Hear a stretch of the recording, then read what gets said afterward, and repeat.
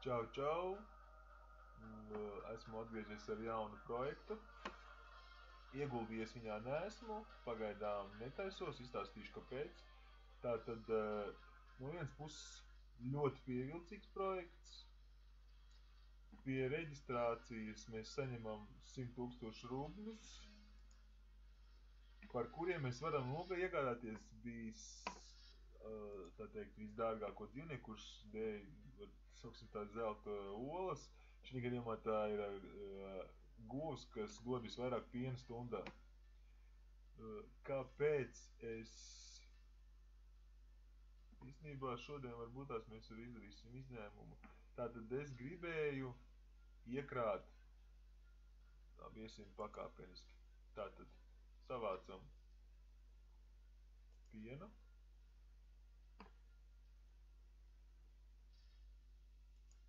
Tirgu pārdodam viņu. Kas šeit ir vispār brīnišķīgi, ka šeit 10% iet tikai, lai iepirktos, un 90% uzreiz iet uz summa, iet uz to, kas, eh, tā teikt, uz reālo naudu. Un šobrīd mums ir tātad eh, iepir, lai nopirktu dzīvnieks mums ir 1200, eh, bet lai izņemtu naudu mums ir 110 725. Tad tas nozīmē, ka teorētiski mums ir 107 eh, rubļi. Un, lai izņemtu ārā, mums ir jāiegulda šeit, paskatāmies, cik mums jāiegulda, lai izņemtu ārā. Mums ir 100 rubļi. Tātad teorētiski mums ir 107, ko izņemt, un 100 ir jāiegūda. Tad tagad es pār ielikšu iekšā 100 un mēģināšu uzreiz izņemt ārā savus 107. Uh, šis projektā es esmu kaut kāds 4 vai 5 dienas, un viņš vienkārši fantastiski, ja sanāks, tad tā ir atkal kaut kāda haļāva.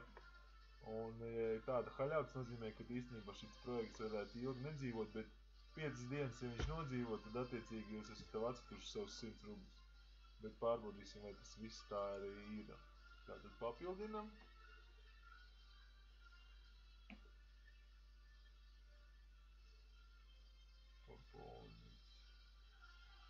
Te vēl ir, ja jūs tā teikt papildinat un 150% jums nāks dāvanā.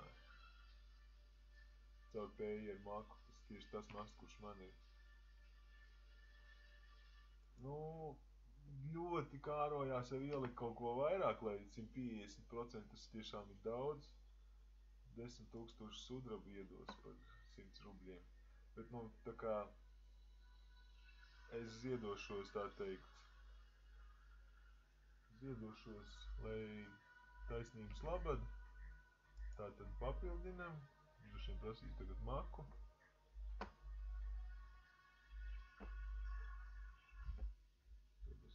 Izdarījuši. Jā. Tā. Tātad 100 rubļi no Payer Maka, viņš automātiski savienojās. Apstiprinām visas jūsu darbības, kas tiek papildināšana, noņemšana, viss nāks uz jūsu Viss nāks uz jums, uz, e, uz e-pastiem. Es uzspēdīšu pauzi, jo vienmēr jāievada kods. Kods no trim cipariem. Spiežam OK. Neliela komisijas nauda, kā redzēt, 96 centi. Tātad nauda ir veiksmīgi aizgājusi. Pārbaudām. Jā, mums bija 10, tagad 26 tūkstoši. Un tad uzreiz mēģinam arī izņemt.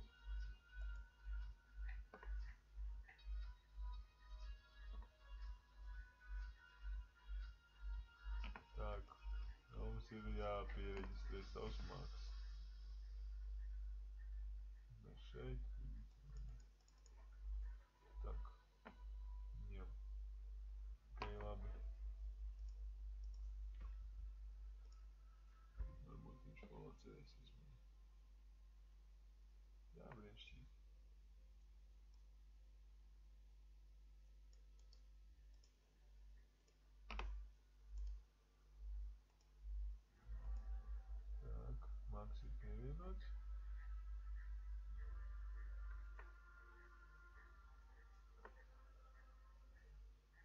you know,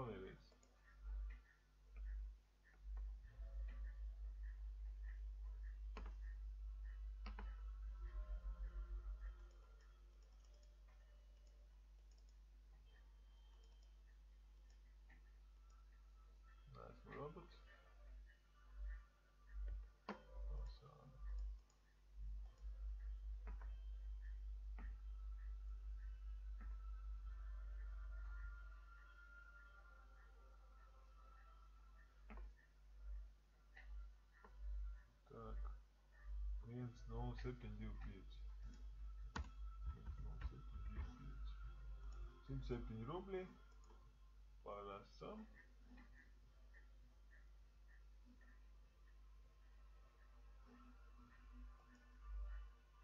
Tātad šeit ir kaut kāda nianse. Так.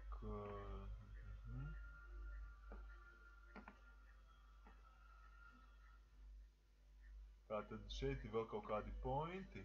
Viss nav tik skaisti. Tātad viens farm points ir viens rublis. Viņus var iegūt 30% no no, no 30% no pārdotiem, piemēram, piena iet tajos farm pointos, a, ne, 30% no ieguldītās naudas, tātad mēs ieguldam, piemēram, 100, 30% mums atnāk uz šejieni. Tad ir no referāļiem,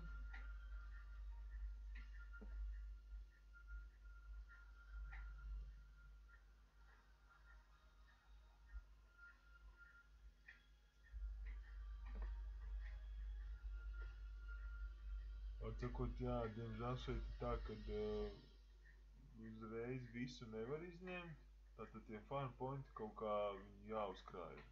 Tad mēs varam izņemt 30 rubļus. Tak, ejam iekšā.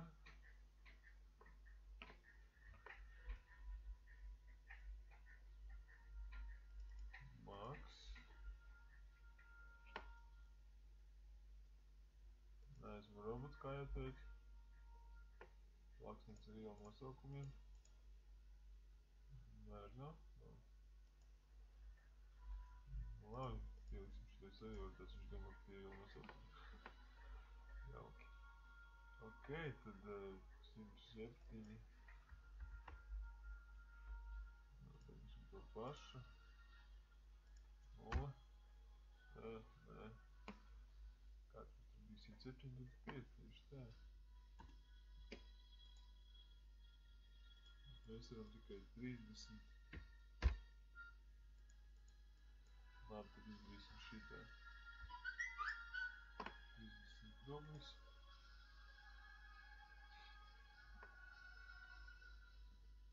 Ir izmaksāts, pārbaudīsim.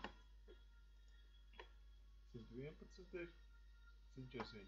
Tātad arī projekts strādā, projekts maksā, tikai šeit ir kaut kāda nianse tiem farm pointiem, ar ko vēl jātiek galā. Bet katrā ziņā ļoti jauki viņi, viņi dod iespēju jauniem reģistrējošajiem uzreiz iegādāties govi.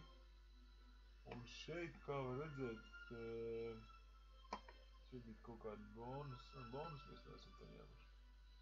Ieguldot eh, šeit iekšā, šeit var arī tā teikt, 3 vai 4 veidu bonus.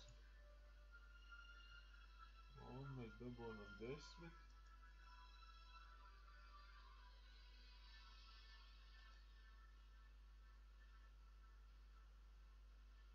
Desmit, cik šeit? 46. Jauki. Un, un, un, un, un.